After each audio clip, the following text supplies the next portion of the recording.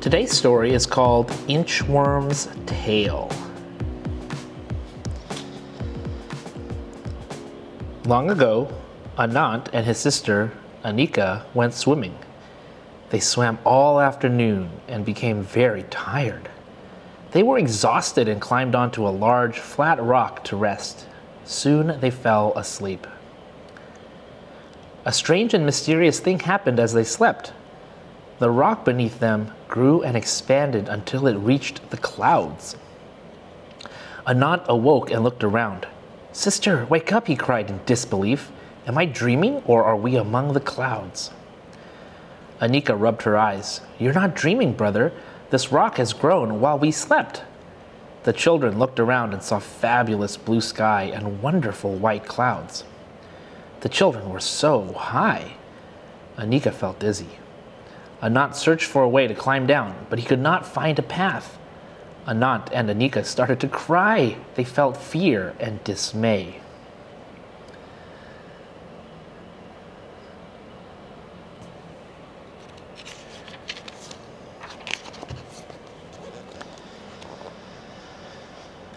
Below, the villagers became worried. Where were the children? They were searching, they searched forests, meadows, rivers, and lakes.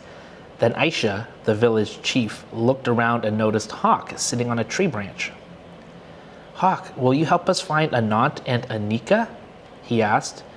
You have sharp, watchful eyes and strong wings. They are your best features.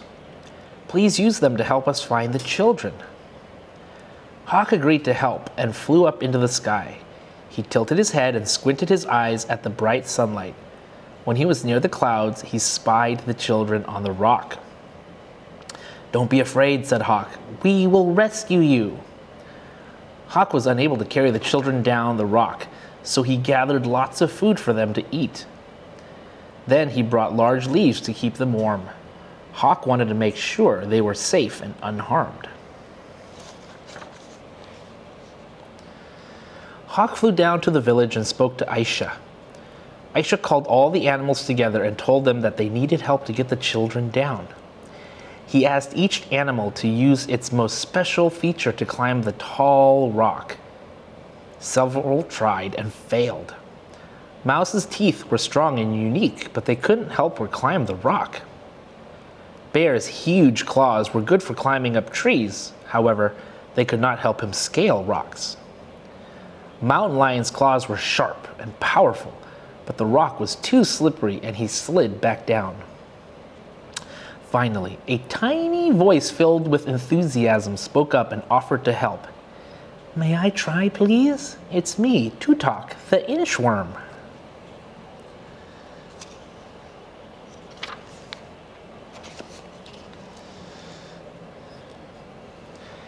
Inchworm showed them all how skillful she was at climbing. Hawk volunteered to carry Inchworm to the top of the rock. Then she could lead Anant and Anika down the giant mountain.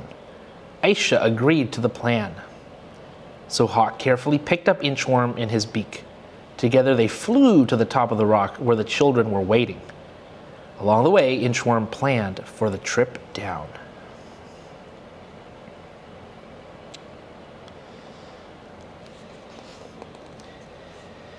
It took almost a week for the three to climb down to the village.